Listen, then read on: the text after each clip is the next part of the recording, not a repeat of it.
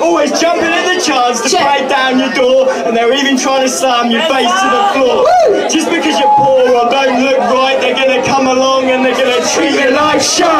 So if you know it ain't right and wanna put up a fight, then wanna come out tonight and party until it gets light. Drop an and feel free, say fuck authority, and if that's who you wanna be,